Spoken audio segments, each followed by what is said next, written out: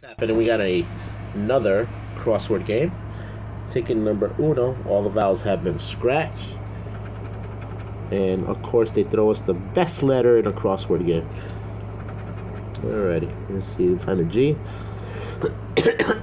there's a G. There's a G. And there's a, a G.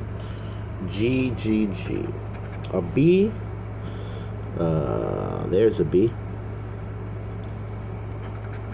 An S. We have one S. And that is it. There's an I. And then an F. We have one F. And we have another F. And another F. And that's it. A W. Okay, one W. A letter V. A V. There's a V. There's a V. And, okay. There's a C. There's one there. An L would give us a win because that'll combine flea and lace. C, C, C. Come on, L. X. No. O.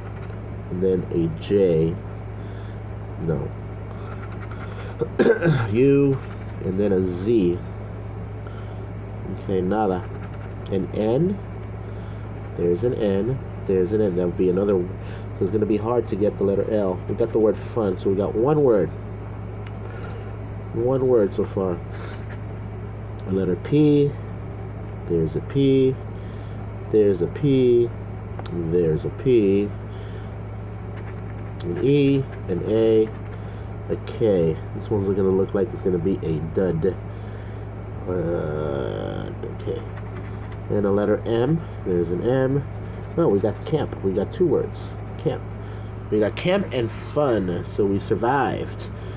Let me see if there's an H. Did I miss an H? I don't see an H. And uh, there's no T. There's no Y. So we got $3 so far. Can we multiply it? Yes, we can. We got $6. We got fun and camp, $3 times 2.